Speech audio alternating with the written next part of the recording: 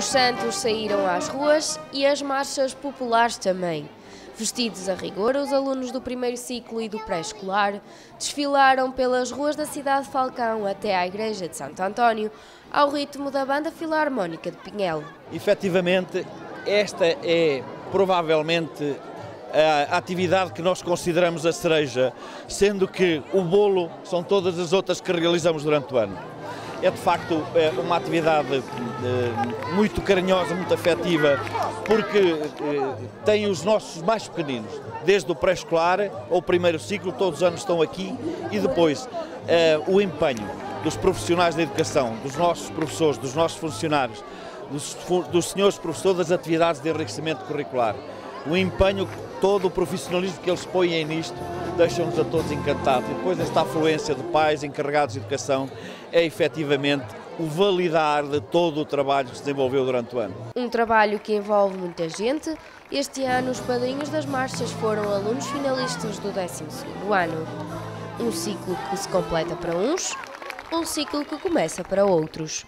Os padrinhos destas marchas hoje, este ano, foram os alunos que estão no 12 ano, os finalistas, que também já fizeram estas marchas quando estavam no, prime no, no primeiro ciclo. Portanto, o ciclo está-se a começar a repetir um, e significa muito para nós que acompanhamos todo este, o percurso destes alunos. Um percurso que desta vez foi até a Igreja de Santo António em Pinhão, um local histórico para a cidade, um santo que esteve atento a todas as atuações. Este local é um lugar é, simbólico muito especial. Estamos a falar de Santos Populares, a Igreja de Santo António, este pano de fundo excepcional, de facto dá outro brilhantismo, outra dignidade a esta atividade, sem dúvida. É o espaço que nós escolhemos.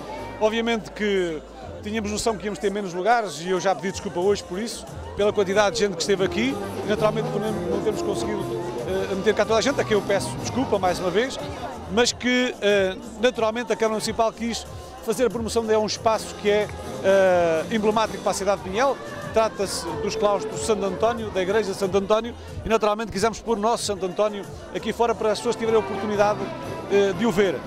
Obviamente que nem sempre tudo corre bem, correu bem porque os miúdos dançaram, correu bem porque as pessoas se divertiram, a única coisa que não correu bem foi não conseguimos estar todos cá dentro, mas também tem uma coisa importante, é que o número de pessoas está a aumentar isso significa que nós vamos ter que aumentar também e, e, temos que ir para espaços cada vez maiores. Foram muitos os espectadores que atentos assistiram às atuações dos mais pequenos, que brilharam como gente grande. Acho que o balanço foi positivo, tirando este pequeno percalço de, do espaço, mas hum, os nossos jovens estão de parabéns. A comunidade escolar está de parabéns.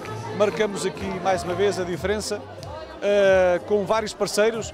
Este ano juntámos mais um parceiro, foi a Modatex, na elaboração dos fatos e, portanto, uh, desta forma temos vindo a apetrechar cada vez mais a escola um, e para que a escola não deixe de promover os santos populares e não se perde com as tradições. Tradições que o município faz questão de apoiar, os mais pequenos brilharam e a comunidade escolar de Pinhel mostrou, como música, que juntos são mais fortes.